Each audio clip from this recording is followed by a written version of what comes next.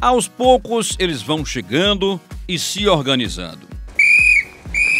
O som do apito é o sinal que vai começar os trabalhos. E para entender melhor como é a vida de um escoteiro, estamos no Yacht Clube de São Luís para acompanhar de perto a rotina desta turma. Aqui é preciso respeitar algumas regras e, para começar as atividades, primeiro eles participam do hasteamento da bandeira brasileira, um gesto que jamais pode ser esquecido. Já posicionados, eles rezam e, quando estão juntos, alegria e disposição é o que não falta por aqui. Afinal, para fazer parte do grupo, é preciso ter coragem e muita disciplina. Os chefes, como são chamados, lideram duas turmas. A primeira, conhecida por Lobinho, que vai de 6 a 10 anos de idade, e a outra, de 11 a 14 anos, quando já são chamados de escoteiros. Maria Luísa tem 9 anos e ainda está na fase inicial, mas já sabe o quanto isso é importante para a vida dela. Eu aprendo a fazer muitas coisas que eu nunca aprendi a fazer em casa, na escola. Aí é que eu me divirto, me divirto muito. Eduardo tem oito anos, também está começando. Ainda é lobinho e, em pouco tempo fazendo parte do grupo, já sabe a receita completa para se tornar um grande escoteiro. Tem que ser um lobinho obediente, respeitar os chefes, seguir o horário, é, usar sempre o, o uniforme todo, que é o cap, o lenço, para quem é primo, que, já, que tem que fazer uma promessa, uni, e o uniforme normal. O movimento de escoteiros, que iniciou em Londres, na Inglaterra, em 1908, já está presente em mais de 200 países reconhecidos pela ONU. No Brasil, os primeiros passos foram dados em 1910. No Maranhão, já são nove grupos espalhados pelo estado.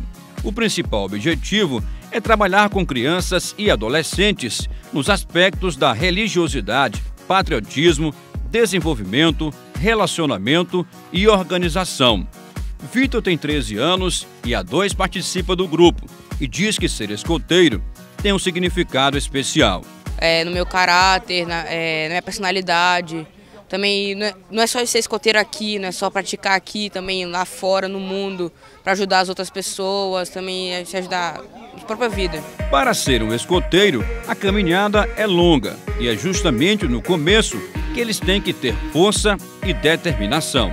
E vida de escoteiro não é fácil. Mesmo na fase inicial, eles precisam encarar algumas dificuldades, até mesmo quando o tempo não é favorável.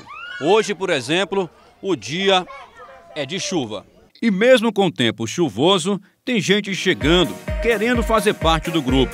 Maria Eduarda sonha em ser escoteira. Ver como é que é, se eu gostar, eu vou fazer.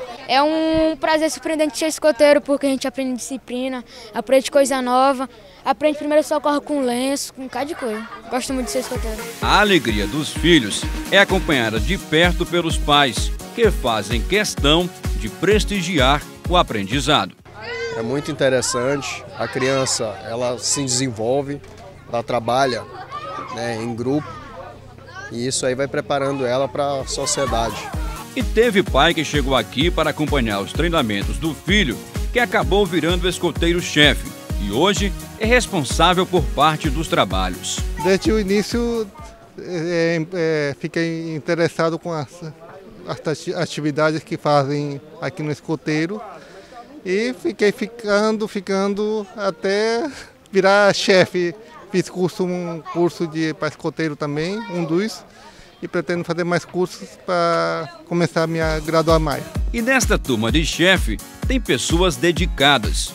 Fernando chegou ainda como garoto e há 27 anos faz parte do movimento. Nossa responsabilidade, porque a gente está lidando com vidas, a gente está lidando com formações de jovens, de membros juvenil. O movimento escoteiro é um movimento que contempla né, valores que a gente é, vem, trabalha tradicionalmente nas famílias, tradicionalmente uh, na, na religião, tradicionalmente na formação é, do cidadão. Sonhar é o primeiro passo. Chegar à vitória é não olhar para os desafios. Boa caça! Melhor possível!